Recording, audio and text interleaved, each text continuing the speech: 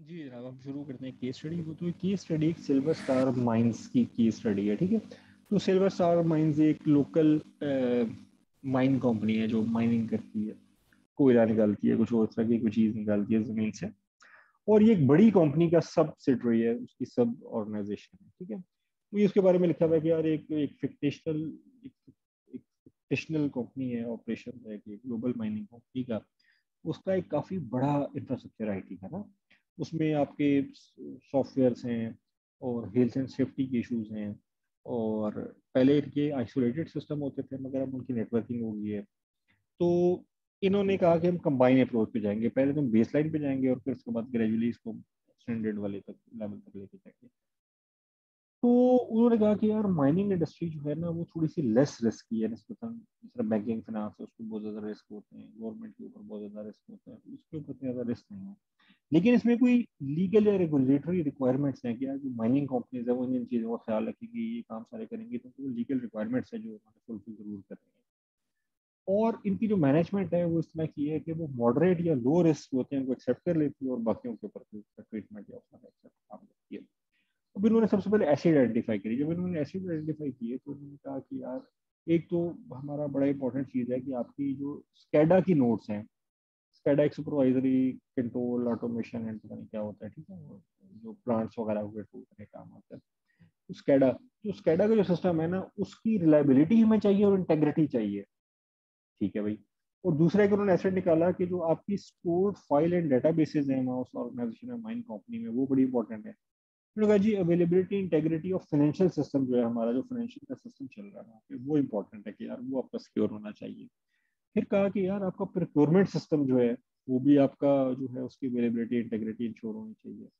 फिर कहा, जी मेंटेनेंस या प्रोडक्शन सिस्टम भी बड़ा इंपॉर्टेंट है और availability configuration of mail service तो कहते हैं, यार, ये छह ऑप्शन ऐसे हैं जो हमारे लिए बड़े ज़रूरी हैं सर अगर रुक गए तो हमारा काम रुक जाएगा तो इनका कुछ करेंगे। हम कहते हैं, ठीक है यार, कर लेते हैं, आगे देखते हैं। तो इन्होंने ना फिर सारा वो असेसमेंट की, उस पूरे उस टॉपिक से गुजरे, वो सारे मामला किए, उसको देखा। यार वो जो हमने, वही जो छः सात नाम ये भी देखे रिलायबिलिटी ऑफ़ स्केडर नोड उसके बाद integrity of store stored file and database उसके बाद कोई फाइनेंशियल सिस्टम की इंटेग्रिटी और अवेलेबिलिटी तरह प्रोक्योरमेंट की उसका प्रोडक्शन की उसका इन सब के अगेंस्ट हमने थ्रेट आइडेंटिफाई किए कि फॉर एग्ज़ाम्पल स्केडा सिस्टम पे क्या क्या थ्रेट है अनऑथराइज मॉडिफिकेशन कर लेते हैं सीओ कंट्रोल सिस्टम की। तो उसके लिए आपने कोई एग्जिस्टिंग कंट्रोल आइडेंटिफाई या लगाया हुआ वहाँ पे हम कहते हैं हाँ जो हमने लेयर्ड फायरवॉल और सर्वर लगाए हुए हैं? वेरी गुड और उसको अकर होने का लाइकलीहुड कितना रेयर है? इसके कंसिक्वेंसेस किस कैटेगरी में आते हैं? कहते हैं मेजर कैटेगरी में आता है कि यार इसको एक्सप्लॉइट तो नहीं हो सकता? बड़ा रेयर चांसेस है, लेकिन अगर अभी हो गया तो इससे हमारे काफ़ी हाई नुकसान हमें पहुंचेगा। तो इसको हमने प्रायोरिटी वन दे दी। इसी तरह two three four five six ना, ये तीन एक सफ़ों की तकरीबन सेल्फ स्टडी है। ये आप लोग ना बुक में पढ़ लीजिएगा इसके बारे में फिर हम भी डिस्कशन की ज़रूरत पड़ती है या कोई मसला होता है तो आप मुझे बता दीजिएगा। ओके फाइन तो अभी आज हमने ये टॉपिक देखे। इन टॉपिक के हवाले से जो आज हमने देखे आपका कोई क्वेश्चन है तो मुझे बता दो। कोई क्वेश्चन है आप लोगों का? कुछ ही समझ में आई तो मैं रिपीट करता हूँ या किस तरह की चीज़? ओके फाइन अच्छा अब हमने किया ये कि आज हमने रिस्क असेसमेंट की मेथडोलॉजीज को देखा। ठीक है थोड़ा सा इसको ना एक दो तीन मिनट में ना रिव्यू करते हैं। उसको हमने जनरल टर्म्स में देखा। जनरल टर्म में हमने कंसेप्ट बना लिया। यार अच्छा इस तरह से होता है ट्रीटमेंट उसके चार ऑप्शन हो सकते हैं कि आप उसको बी एस लाइन अप्रोच में ले जाओ, आप उसको इनफॉर्मल में ले जाओ, आप उसको फॉर्मल में ले जाओ या आप उसको डिटेल इन वाले में ले फिर हमने देखा कैसा रिस्क होते क्या है मतलब रिस्क क्या है उसको कर होने के चांसेस होते हैं कैलकुलेशन कैसे होती है?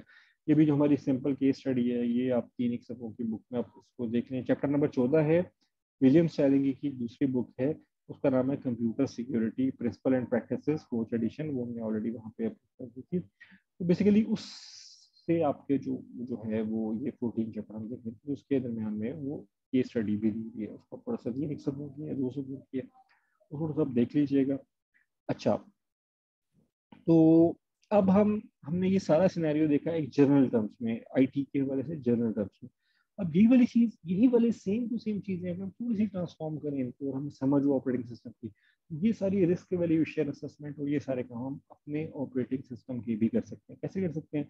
यार उसके डिफरेंट सिस्टम है कि यार एक आपका मेमोरी मैनेजमेंट का सिस्टम चल रहा है, एक आईओ मैनेजमेंट का सिस्टम चल रहा है, एक किसी और चीज़ का सिस्टम चल रहा है। तो अब इन सब की जो रिक्वायरमेंट है इंटेग्रिटी की और अवेलेबिलिटी की, ये दोनों काफ़ी हाई है। कॉन्फिडेंशियलिटी की निस्बतन कम है, लेकिन वो भी चलो किसी हद तक होती होती है। अथेंटिसिटी जो है ना, वो हर विंडोज़ का या लिनक्स का ओएस प्रोवाइड कर रहा होता है कि वो आप जब इंस्टॉल करते हैं तो आपसे माँगता है कि यार यूज़र नेम पासवर्ड दो तो जिसके पास वैलिड यूज़र नेम पासवर्ड होता है, वही बंदा उस गाड़ी में बैठ सकता है, उसको यूज़ कर सकता है, उसके अलावा नहीं होता। तो यही वाला, जिस तरह ये वाली चीज़ हमने एग्ज़ाम्पल दी रियल वर्ल्ड से, उसी तरह से अगर हम इसको मेमोरी मैनेजमेंट पे मैप करें या हम इसको आईओ पे मैप करें या हम इसको प्रोसेस की हवाले से उस पर मैप करें प्रोसेस एग्जीक्यूशन पे या हम इसको प्रोसेसर मैनेजमेंट पे जो हमने कहा था मल्टीपल प्रोसेसर है तो किसके पास डाटा जाएगा, किस पे नहीं जाएगा, कैसे वो होगा, सारी मामला, उसके ऊपर हम अप्लाई करना चाहें तो सेम सेम टू सेम चीज़ें वैसे ही वहाँ पे अप्लाई हो जाएँगी, सिर्फ़ फ़र्क कहाँ पड़ेगा? हमने घर की एग्ज़ाम्पल दी तो वहाँ पे गैस लीक होने का डर था। हमने ऑफ़िस की एग्जांपल दी तो वहाँ पे ये डर था कि यार कोई बंदा हमारा सिस्टम हैक ना कर ले, हमारे सर्वर हैक ना कर ले। अगर हम ओएस की बात करेंगे तो कहेंगे, यार, कोई बंदा हमारी रैम में से डाटा ना निकाले। रैम में बड़ा इंपॉर्टेंट डाटा पड़ा होता है जो भी प्रोसेसिंग करते हो रैम में पड़ी होती है। तो रैम में से डाटा लीक ना हो जाए। किसी और प्रोसेस के डाटा में इधर से कोई गलत मॉडिफिकेशन ना कर दी जाए बफर ओवरफ्लो करके कि यार, वो बंदा उस जगह पे कुछ लिख दे कमांड और एग्जीक्यूट हो जाए। हमने बफर ओवरफ्लो के केस में सारी चीज़ों को डिटेल से देखा था कि बफर ओवरफ्लो एग्ज़ाम्पल का बफर ओवरफ्लो था, वो पता नहीं क्या उसमें हमने कोई टेक्स्ट लिखा था आठ करेक्टर का तो वो आठ करेक्टर का टेक्स्ट जो है वो बफर ओवरफ्लो जब करता था तो वो चीज़ों को, मामला को ख़राब कर देता तो मैं, मुझे वो टेक्स्ट का नाम भूल गया, पता नहीं क्या था, वो चार बार हमने लिखा था।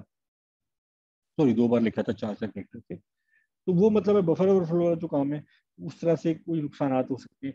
तो वो सारे सिनेरियोज या जो चीज़ें हमने सिक्योरिटी रिस्क मैनेजमेंट में पढ़ी हैं, उसी तरह की चीज़ों को हम सेम थ्योरीज को सेम कंसेप्ट को हम ऑपरेटिंग सिस्टम के ऊपर अप्लाई करें, हम उस ऑपरेटिंग सिस्टम की सिक्योरिटी को भी इन्हेंस कर सकते हैं, ठीक है? और आप लोगों ने करना ये है कि आप लोगों ने भी घर जा, घर में ही जाना तो है नहीं अपने माइक्रोसॉफ्ट बेसलाइन सिक्योरिटी एनालाइजर को डाउनलोड करना है, मेरे ख्याल में सौ, दो सौ एम का होगा शायद, और फिर चेक करना है कि यार उसको अपने विंडोज़ टेन की जो मशीनें आपके पास हैं, उस पर आप चलाते हैं तो क्या ये वाला काम हो पाता कि नहीं हो पाता? चलो, यहाँ तक तो लेक्चर की बात होगी कि अब दो इंपॉर्टेंट बातें एक तो ये कि जो हमारा नेक्स्ट लेक्चर है, वो शायद आखिरी होगा तो उसमें हम जरा टेम्पलेट ये इसका पेपर का और इन चीज़ों को भी डिस्कस कर लेंगे, ठीक है? वो याद करवाना है आपने मुझे नंबर वन नंबर टू ये कि आपको मैंने एक असाइनमेंट दी थी जो कि आज से ड्यू स्टार्ट होगी होगी, उसकी डेट वगैरह कल मैंने अपलोड कर दी थी। आपने पहले ये किया था कि आपने बनाया था एक तरह की प्राइवेट क्लाउड की प्रैक्टिस की थी कि आपने वी एम वेयर के ई एस एक्स आई के ऊपर आपने उसको फ़ाइल वेरिएंट डाउनलोड किया था, उसको आपने इंस्टॉल करके देखना था और उसको मुताबिक उस पर कोई वी बनाने थे, उनके आपस में कम्युनिकेशन करानी थी। तो वो जो सिनेरियो हम बना रहे थे, वो हमारा था प्राइवेट क्लाउड का। तो अगर आपको कोई कोई प्राइवेट क्लाउड बनाने के लिए दिया जाता है तो आप बड़े आराम से उसको कन्फिगर कर सकते हो यूजिंग वी एम ओके अब हमारा जो अगला टास्क है, वो ये है कि नहीं यार, अगर हम अगर हम अगर हम ऑनलाइन जाते हैं, अगर हम अगर हम क्लाउड कंप्यूटिंग की सर्विस चाहते हैं, किसी ऑर्गेनाइजेशन के आई के लिए तो उसके लिए हमें क्या करना होगा ना? उसके लिए आपको ये था कि आपने शुरू में उसकी आपने असाइनमेंट पढ़ी है, शायद कि नहीं पढ़ी? उसमें शुरू में आपने तो उनको कंपेयर करना है कि इनकी फ्री ऑफरिंग्स क्या है। जस्ट आपने वहाँ जाके देखना है तीनों जो है, सबसे जो मेजर प्लेटफॉर्म्स हैं, उसमें गूगल क्लाउड है, एक आपका माइक्रोसॉफ्ट एज्यूर क्लाउड है और तीसरा आपका एड है अमेजन वालों का। ये तीन मेजर प्लेयर्स हैं इस फ़ील्ड में फ़िलहाल। बाकी भी एक दो आ रहे हैं, मजीद मोमेंटम गेन कर रहे हैं, लेकिन फ़िलहाल जो मार्केट लीडर्स हैं वो ये तीन है। तो आपने इनके ऊपर जाके देखना कि फ्री ऑफरिंग्स क्या कर रहे हैं। तो उसका एक कंपेरेटिव मैट्रिक्स मुझे चाहिए, वो आपको सैंपल दिया हुआ है। उसमें आपने आठ, दस इनकी जो फ्री ऑफरिंग्स होती हैं, वो आपने इसमें डालनी है ज़रूर। और तीनों की डालनी है कि यार, ये वाला क्या ऑफ़र करता है इस सिनेरियो में, वो क्या ऑफ़र करता है, वो क्या ऑफ़र करता है। फ्री वाला सिर्फ़, ठीक है? फ्री टीयर वाला। फिर आपने ना कुछ मशीन्स बनानी है अलग अलग एज्यूर पे भी बनानी है अकाउंट बना के, और उसको भी बनानी है एडब्ल्यूएस भी बनानी है, और तीसरा वो जो था एज्योर वाला और ये वाला और तीसरा वी वाला उसके ऊपर भी बनानी है। वी एम का कोई और था एडब्ल्यूएस। अच्छा। इस पे आपने कुछ वर्चुअल मशीन बनानी है और फिर उनको आपस में पिंग करवाना है। सारी मशीनों को सारी मशीनों से पिंग करवाना है उसकी स्क्रीनशॉट्स लेने और सब करवा देना ठीक है? तो इसमें कोई इशू होता है तो आप मुझे फिर पिंग कर दीजिएगा और लेट मत कीजिएगा सर हम्म बोलो। सर एक क्वेश्चन था कि वो जो पिछला हमने प्राइवेट क्लाउड बनाया था जो वीएमवेयर का किया था वो सब कुछ लाइक अनइंस्टॉल कर सकते हैं स्पेस अगर स्पेस की ज़रूरत हो। हाँ अगर आपका लाइक कंप्लीट हो गया तो आप उसको अनइंस्टॉल कर दो कोई चलिए ठीक है। तो वो डिलीट कर दो। और ये वाला जो काम है इसके लिए वैसे आपको स्पेस रिक्वायरमेंट इसलिए नहीं होती कि सारा काम हमने क्लाउड पे करना है। लेकिन क्लाउड पे करना है। ठीक है। क्वेश्चन नंबर वन क्योंकि उसमें आपने फ्री ऑफरिंग्स देख लेनी है कि आपको क्या अलाउड है क्या नहीं है। वो पहला सवाल मैंने सिर्फ़ इसलिए डाला। मुझे तो पता है कि वहाँ क्या फ्री ऑफरिंग्स है। आपके लिए डाला कि आपको हो कि क्या क्या फ्री है ताकि आप उल्टा सीधा काम कर दे तो आपको चार्ज ना पड़े। अगर पढ़ता है तो आपने अपनी गलती से पड़ेगा कि आपने क्वेश्चन नंबर वन सही तरह नहीं किया होगा। ठीक है? ठीक है। सर आपने वो एक चीज़ मेंशन की हुई थी कि लाइक जब रन कर रहे हैं तो फिर आपने पीछे क्लोज कर देना वीएमवेयर को लाइक कुछ इस तरह का कि आपको एक्स्ट्रा चार्ज ना हो। हाँ, सर वो चीज़ मैंने आपको ये बताया था देखो हाँ आपने ना देखो एक मशीन बनाई तो मशीन इंस्टॉल करने में टाइम थोड़ा सा तो लगता है ना। वैसे उसके पास तो बनी बनाई मशीनें होती हैं आप बनी बनाई भी कर सकते हो। इंस्टॉलेशन आपने अगर पब्लिक में कर प्राइवेट में कर ली तो पब्लिक में कर ही लोगे ठीक है? मुझे नुकसान नहीं तो आप अगर बनी बनाई मशीन भी डाउनलोड बनाते हो तो देखो अब आपके तीन हाथ तो नहीं है और तीन सर तो नहीं है और तीन लैपटॉप हम्म। तो नहीं है कि यार आप तीनों जगहों पे एट अ टाइम काम शुरू कर दो। एक हाथ आपका माइक्रोसॉफ्ट एज्योर में कॉन्फ़िगर कर रहा है चीज़ों को दूसरा वीएम वो क्या है जो एडब्ल्यूएस में कर रहा है और तीसरा गूगल क्लाउड में कर रहा है। तो आपको वन बाय वन करना पड़ेगा ठीक है? अब अगर आप क्या करती हो उसमें मैंने इसलिए कहना कि आपको पहला सवाल है वो आपको बताएगा जैसे एडब्ल्यूएस है ना वो आपको सेवेंटी फिफ्टी आवर्स फ्री देता है कि आप एक मशीन 750 आवर्स एक खास लेवल की देखो उसमें लेवल होते हैं कि आपका जो माइक्रो मशीन है वो दो जी बी की होगी मैं एग्जांपल दे रहा हूँ उसकी रैम और जो मिनी है वो चार जी बी की होगी और मैक्स तीसरी जो है वो आठ जी बी की होगी फिर सोलह जी बी की होगी ठीक है? तो वो कहेगा कि मैं आपको मिनी वाली मशीनों के 750 आवर्स देता हूँ। इसका मतलब है कि अगर आप 750 आवर्स 750 वर्चुअल मशीन बना लेते हो एडब्ल्यूएस पे तो इसका मतलब है कि वो एक घंटे के बाद आपको चार्ज करना शुरू कर देंगे क्योंकि आपके 750 पूरे हो जाएँगे ठीक है? अगर आप तीन मशीनें बनाते हो वो वाली माइक्रो तो वो आपको ढाई सौ घंटों के बाद चार्जिंग शुरू हो जाएगी। क्यों? कि वो मशीनें चल रही होंगी ना तो आपके वो कंज्यूम हो रहे होंगे। अगर आपकी तीन मशीनें बनी है तो तीनों जब ढाई सौ ढाई सौ ढाई सौ घंटे पूरे करेंगी चलेंगी ढाई सौ घंटे तक तो आपके वो साढ़े सात सौ फ्री वाले पूरे हो जाएँगे ठीक है। समझ आ रही है ना बात? जी जी अगर आपने मेरे सिर्फ़ ये रिकमेंड किया था कि यार अब आपने अगर आपने गूगल क्लाउड पे गए और वहाँ पे उनकी फ्री वाली मशीन कन्फिगर कर दी फाइन हम्म। चल पड़ी। अब आप आ रहे हो ए डब्ल्यू एस पे मशीन बनाने तो आप वो उस वाली को शट डाउन कर दो। शट डाउन करोगे तो पड़ी रहेगी ना पास ही गूगल क्लाउड वाली। ठीक है? तो आपने सर उसको जब आपका तीनों मशीनें कन्फिगर हो जाती हैं उस वक्त तीनों के तीनों को एक बार फिर ऑन करो। उसके दरमियान उसकी आप इसमें पिंगे पुंगे देख लो उनके वो फिर आपको आईपी भी देखने पड़ेंगे क्योंकि क्योंकि ना इसमें ना एक बात होती है इसमें स्टैटिक आईपी आपको मिल जाता है लेकिन स्टैटिक आईपी के लोग पैसे चार्ज करते हैं फ्री नहीं होता। अगर आप वो काम नहीं करते तो जब भी आपका ये सिस्टम बूट होता है ना यानी कि आपकी मशीन रीस्टार्ट होती है या आपने शट डाउन करती है दोबारा स्टार्ट करते हैं तो उसको जो पब्लिक आईपी मिलता है वो नया मिलता है हर पब्लिक आईपी ठीक है पब्लिक आईपी जो इंटरनेट वाला आईपी होता है तो आप इंटरनेट वाली आईपी को पिंग करोगे तो पिंग जाएगी ठीक है? क्योंकि वो इंटरनेट में मशीन है ना एक गूगल के सर्वर पे पड़ी हुई है एक माइक्रोसॉफ्ट के सर्वर पे पड़ी हुई है एक एडब्ल्यूएस के अमेजन के सर्वर पे पड़ी हुई है।